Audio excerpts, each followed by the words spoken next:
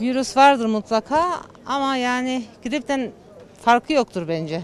Devlet bizi öldürecek mi aşı vurdurunca? Vallahi aşı hakkında herkes değişik şeyler söylüyor. Kafa karıştırıyor. Mevcut sisteme bakınca mecburi gibi bir şey. Türkiye'de koronavirüsle mücadele kapsamında aşılama hız kesmeden devam ediyor. Bakalım Kayseri halkı aşılama ile alakalı neler düşünüyor? Hayır olmadım. Olmak da istemiyorum. Olumlu olarak görmüyorum. Peki yerleş hakkında neler düşünüyorsunuz? Ne hakkında? Yerleş. Hakkında hiçbir şey düşünemiyorum açıkçası. Virüs vardır mutlaka ama yani gripten farkı yoktur bence. O nedenle vurulmayı düşünmüyorum aşıyı. Aşı oldunuz mu? Evet.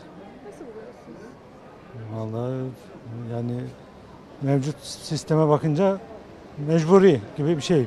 Ben kendi açımdan öyle düşünüyorum yani. Siz mecburi olduğunuz için mi aşı oldunuz? Yok mecburiyetten dolayı da kendi isteğimle sonuçta randevu alma sistemi herkese bireysel özgürlük vaat ediyor. Yani kendi kendime oldum yani sıkıntı yok. Mecburiyetten dolayı değil yani. Peki neden mecburi olduğunu düşünüyorsunuz aşılamanın? Vallahi e, şu anda baktığınız zaman her gün vaka sayıları, hasta hastalık sayıları ya da hasta olanların durumuna bakınca e, bu işin bir an önce bitmesi için yani aşıda bireysel bir sorumluluk olarak düşünüyorum şu anda. Bilmiyorum başka. E, genel olarak böyle fikrim. Evet oldu. Ya şimdi içeriğini tam net bilmediğimiz için biraz da işte e, sürü psikoloji hesabı olun dediler olduk. Hani aşıyı kıyaslayabilmem için hani standart bir aşıda ne olur biyolojik ve kimyasal olarak bunu tamamen bilmem lazım. Bilmediğim için olduk. Evet oldum. Dün oldum. Saat 12.30'da oldum. Devlet, eski devlet hastanesinde. Şu an iyi. Bir sıkıntı yok. Biraz ağrı var. Başka bir sıkıntı yok yani. Bu kadar yani. Peki aşı olmak istemeyen vatandaşlarımız var. Bunlar için neler söyleyebilirsiniz? Yanlış yapıyorlar. Yani bence gidip olmaları gerekiyor yani. Devlet ne sunduysa ona, ona göre hareket etmesi lazım. Evet aşı oldum. Ee, evet oldum. Birinci aşı fazla yaptım. İkinci aşı fazlanın ikincisini de Temmuz ayında yapacağım. Aşıyı nasıl buluyorsunuz? Ee, yararlıdır. Aşı yapılmalıdır.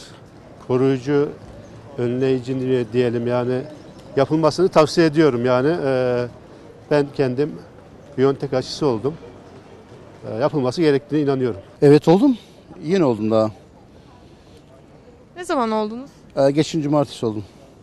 Randevu alarak oldunuz. Evet 182 aradım.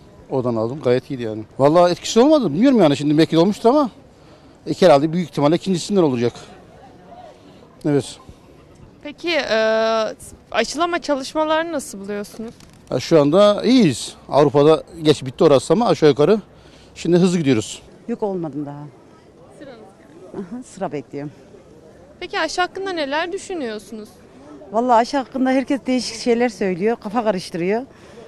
O yüzden vurulacağım ben yani. Oldum ben ikisini de oldum. Aşı hakkında neler düşünüyorsunuz? Vallahi şimdi e, bir doktor beyefendinin söylediği aklıma geliyor. Ee, Bir vatandaş hangisine inansın diyor. 7-8-10 tane doktor herkesi bir şeyler söylüyor. Şu aşıyı, şu aşıyı ki o biri olun diyor, biri olmayın diyor. Vatandaş tereddüt altında kalıyor. Ben de onaylıyorum yani. Ben aşı olmanın iyi şeyler getireceğini hissediyorum, biliyorum diyeyim yani. Anlıyorum. O kadar diyeyim. Peki aşı olmak istemeyen vatandaşlar var. Bunlar için neler söyleyebilirsiniz? Vallahi cahillik diyorum. Başka bir şey söylemiyorum. Ne zararı var? Devlet bizi öldürecek mi aşı vurdurunca? Bir düşün şöyle. Yok. Niye öyle bir şey var mı? Kınıyorum diyeyim yani kısacası o tip insanları. Soracağı, danışacağı yerler varsa gitsinler, sor, sorsunlar, danışsınlar. Olsunlar aşı. Ben özellikle ısrar ediyorum olmalarını. Oldum. E, aşıyı nasıl buluyorsunuz? İyi buluyorum. Yani aklında o akıl olan ne bir şey yapsın. Burunsun. Sıramız vermedi. Hafifimiz bulunduk. Mesela bizim sıramız daha yeni gelecekti. Abim bizim şey yaptığı için bize götürdü vurdurdu yani. Memnunuz biz Olduğu yani. için onlar. Öyle olunca vurunduk yani.